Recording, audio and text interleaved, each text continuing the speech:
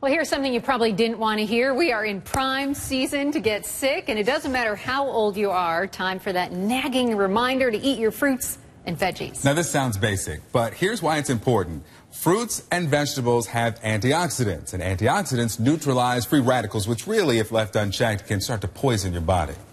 If you're not getting rid of those free radicals, all kinds of bad things can happen to you. So cells can be destroyed, your immune system is weakened, and that is when you get sick. So we asked fitness and nutrition expert Mark Macdonald to come in and help keep us all healthy. All right, so um, all right, so most people don't even know that, that they don't even get the two servings of, of vitamins that they, they really need um, a day of fruits and vegetables and all that. But you say we actually need how many? 12? At least 12 Wow. a day. So, so every day we're 10 short. And that's what really is causing people's immune system to just hurt. And it's like your cells start to rust. When you don't get enough antioxidants through fruits and veggies, you have oxidative stress. And it's like internally you begin to rust and your, cells- your cells are destroyed. So, what's the best vitamin uh, to take? Wh- which should we have every day, bar none? So these are vitamins, um, vitamin A, C, and E, and we'll talk about each one, but they, they actually are antioxidants. Okay. So we look at vitamin A. These are great sources to work into. You have sweet potatoes, cantaloupe, butternut squash, dried apricots, and carrots. So that provides you with vitamin A, great for your eyes and vision and mm-hmm. immune booster. Then vitamin E, you know, we ask, like olive oil is a great essential fat, but grapeseed is a powerful in vitamin E, great to cook with. Almond butter, almonds, seeds, and we love avocados. We sure So do. this is vitamin E, so A, E, and then And it's C. C over here. We have green leafy veggies. These are kale. People love like kale shakes. I know that you love those, Randi. Mm-hmm. I'm a fan. Broccoli, your peppers. Look at all the colors, and then oranges, and that's vitamin C.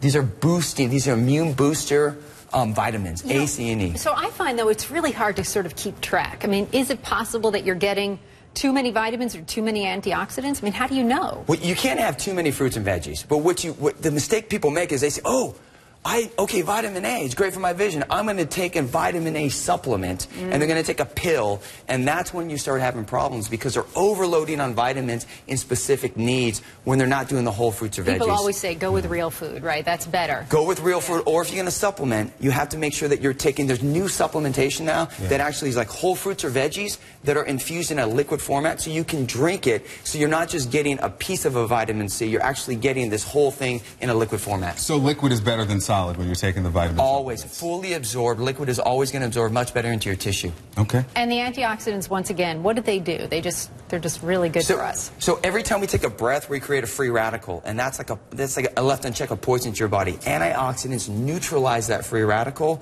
protect your cells, boost your immune system, increase your meta, your metabolism speed, and really just allows us to fight those colds that we that none of us want. So how many servings of fruits and vegetables do you eat every day? I'm just curious. well, I, I eat about probably about six or seven fruits, and then I supplement with liquid antioxidants. All right. Because we're busy. We are. Well- And day, so. I get, I actually get about 18 when I when I put it all together. I get about 18 servings of fruits and veggies because we're busy. That's why I supplement We're going to keep Okay. looking so young the more we have him. I know, Love right? it. If I start taking the advice, yeah, it'll work. Yeah, you got to take the advice. Everybody at home as well. Yes. Mark Macdonald, thank you. Thanks so much, Randi and Victor.